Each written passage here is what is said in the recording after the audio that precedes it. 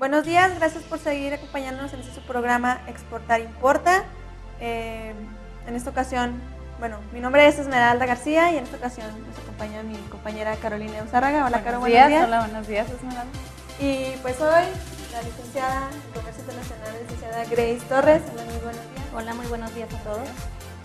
Eh, mm, como quien dice, soluciones a problemas. Eh, esto es con el fin de llegar a acuerdos mutuos, o ya sea, bueno, puede ser mutuos o puede ser eh, individuales. Claro que, pues, si, si las, ambas partes, todas las partes negociadoras llegan a un acuerdo, pues es, es muy, muy bueno. Eh, Caro, mi compañera Caro, ahorita les va a hablar sobre los estilos de negociación que existen y cómo, cómo llevarlos a cabo. Hola, muy buenos días. Eh, mira, hay diferentes estilos de, de negociaciones. Mm, según los autores, pues clasifican de diferente manera, pero podríamos decir que en sí los agruparíamos en cuatro estilos. Uno de ellos es el estilo catalizador. Este estilo es así como alguien que es extremadamente creativo, siempre busca como la innovación, este, crear nuevas ideas, eh, experimentar, ¿verdad? Eh, otro estilo es el estilo apoyador. Este estilo es así como que para ello- a ellos lo más importante es la gente, o sea, las relaciones con la, con la gente y es como, como el social, por decirlo así.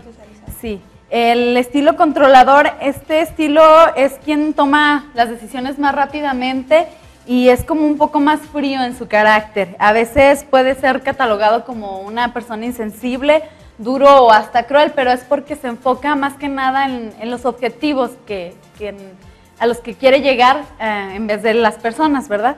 Y el estilo analítico, esta persona necesita analizar toda la información, saber exactamente este, cómo se va a llevar esa negociación, de qué se trata. O sea, analiza en, se puede decir que en exceso y pues es visto así como muy perfeccionista y detallista.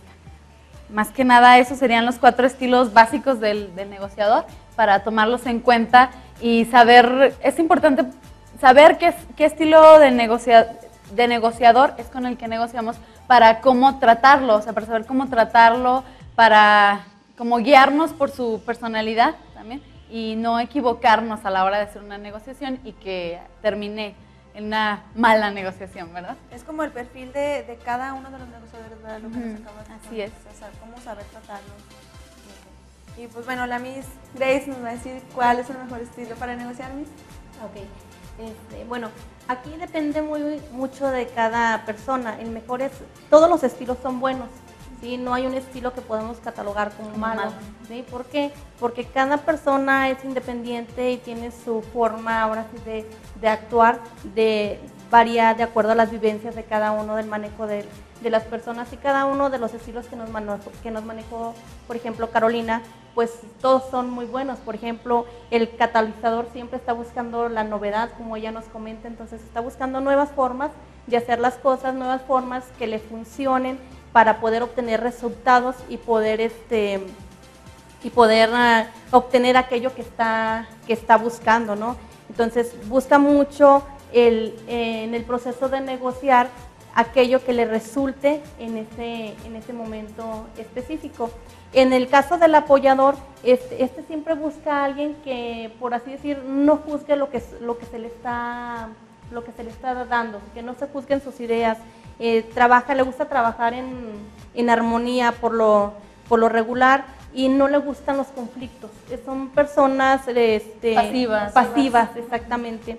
En el caso de, perdón, eh, del controlador o contralor le gusta, como su nombre lo dice, ¿no? Le gusta como que Llevar las controlar. riendas. Exactamente, Llevar le las llevar riendas, las ¿no? riendas de, de, de la negociación y de alguna manera busca que la parte que lo está escuchando eh, se sienta, mm, ¿cómo, ¿cómo les diré?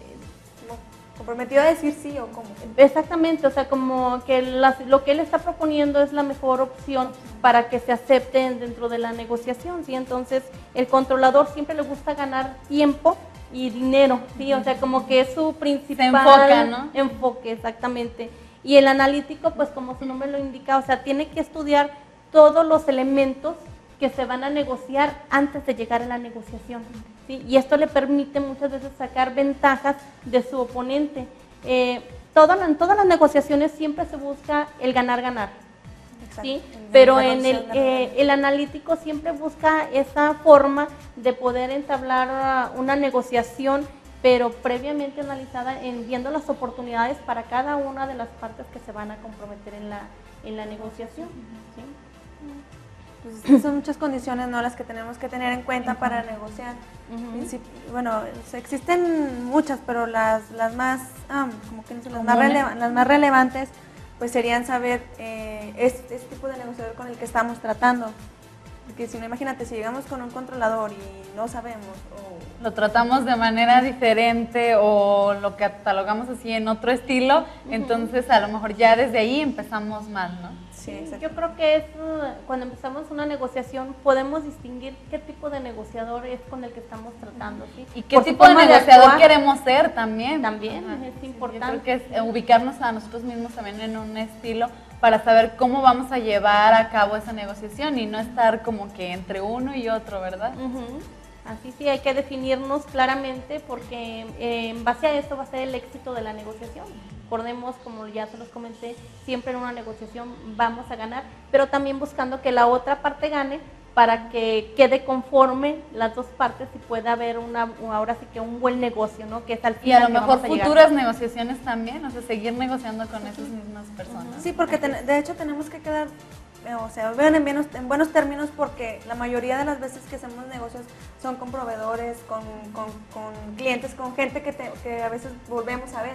Entonces es necesario tener una buena relación.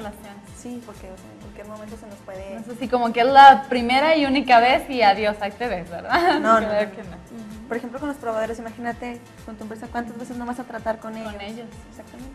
Sí, no, hay que conocerlos, hay que conocer sus culturas, su cultura organizacional, su cultura, este, si hablamos de países eh, extranjeros, eh, la cultura del país, para saber cómo llegar a, la negociación. O sea, no podemos llegar como comúnmente lo hacemos, ¿no? Hola, ¿cómo estás? O sea, hay formalidades dentro de las negociaciones que tenemos que, cumplir.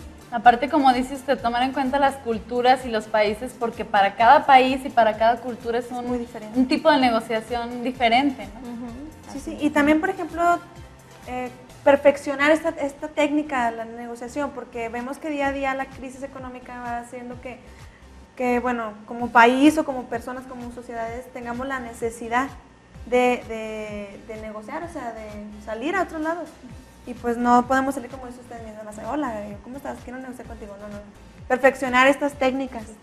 Por ejemplo, veamos eh, algunas técnicas de en otros países, digamos que los árabes son muy... Mm, Necesitan mucha confianza, ¿no? Sí, ellos tienen que estar 100%, eh, o sea, confiables para la negociación, si no, no van a firmar. Necesitan también este, tratar así mucho a la gente, como que hablar de, de temas así, este, no referentes a la negociación, sino como ir adquiriendo poco a poco la confianza, ¿verdad? Sí, sí. Así es, el, el movimiento corporal, por ejemplo, también tiene, mucho, significado dentro de las negociaciones. O sea, hay algunas culturas que no permiten acercamientos, por ejemplo, o sea, no es permitido dentro de la negociación. Por ejemplo, los árabes que no pueden usar la mano izquierda porque es, la, malo, la mano, perdón, la mano mala, como quien dice, o sea, ellos no, la mano izquierda para nada. Sí o, dar algún, algún tipo de obsequio, por ejemplo, en algunas culturas este, es así eh, como soborno, lo ven así como algún soborno. O hasta los colores que utilizamos muchas veces, este, llevar eh, un traje de un determinado color puede ser ofensivo para una cultura dentro de la negociación. Entonces, son elementos que no podemos dejar pasar y que tenemos que estar muy atentos a todo Tenemos que tomar en cuenta. Exacto, van a hacer que contribuyan al éxito de la negociación. O sea, puede ir usted lo mejor preparado del mundo, pero si lleva un elemento que es ofensivo a esa cultura, o sea, su negociación no va a prosperar. Eso que habla, mencionó ahorita de los colores, en la, en la, cultura japonesa el color blanco es de, la, es de luto, o sea, de muerte. O sea, imagínense que los hindús, ¿verdad? También. Ajá. Sí, sí, o sea, son... Y a diferencia de los Estados Unidos, ¿no? Que ellos son muy secos, muy reservados. Ellos siempre buscan resultados a corto plazo. O sea, ellos no, no, no es de que, o sea, es momentáneo. Sí. Y por ejemplo, con, con ellos puedes llegar y tú así todo formal y, y ellos no, ellos pueden llegar en tenis, en, En short, short, así, ajá. cualquier- y para ellos es normal, o sea, ellos a lo que van, o sea, no necesitan tanta formalidad. Para ellos el tiempo es dinero, a comparación de como decíamos los árabes, que ellos hacen tiempo para a- a- adquirir la confianza, ¿verdad? En cambio, por ejemplo, los estadounidenses, pues no, lo que necesitan es que se concluya la negociación Rápido. porque están perdiendo dinero y al, al- digo, tiempo y al perder tiempo pierden dinero. Sí, son como más controladores, ¿no? Sí. los estilos de, de negociar. Pero también aquí hay un factor bien importante, que tenemos que ver dónde vamos a negociar, o sea, cuál es el punto intermedio de la negociación. Si es en el país de ellos, si es en nuestro país. país, o si es en un lugar in- intermedio, País ¿no? tercero. Exacto, porque todo eso va, va a tener mayor, todo, eh, donde se vaya a hacer la negociación va a tener más peso la forma, eh, lo que es la cultura, la que es la forma de hacer la negociación, ¿no? Es- entonces es un punto muy importante dónde se vaya a concretar, dónde se vaya a realizar. Por ejemplo, si se llegara a concretar aquí en México, pues a lo mejor tenemos la ventaja, ¿verdad? Porque conocemos nuestro país, sabemos a lo mejor, no sé, a dónde llevarlos, qué hacer. Y aparte, pues es, es una ventaja para nosotros por sabernos cómo mover, ¿no? También.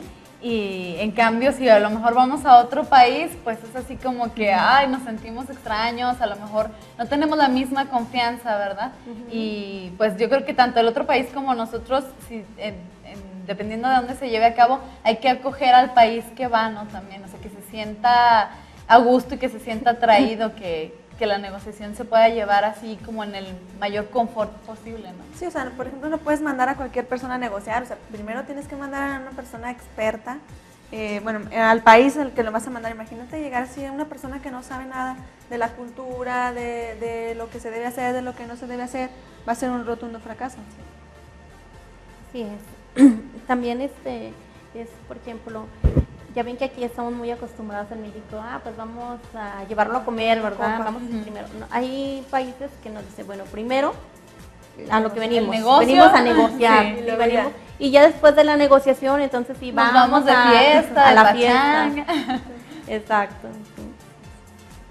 sí. No, pues interesante, ¿no? Lo de, lo de la negociación ahorita, Creo ¿no? un- Sí, un tema aparte bastante Muy extenso. amplio, Sí, extenso, sí, sí. sí, sobre todo porque si nos pusiéramos a analizar cada una de las culturas, pues No, pues no terminaríamos. no imagínate. terminaríamos, así es. Sé.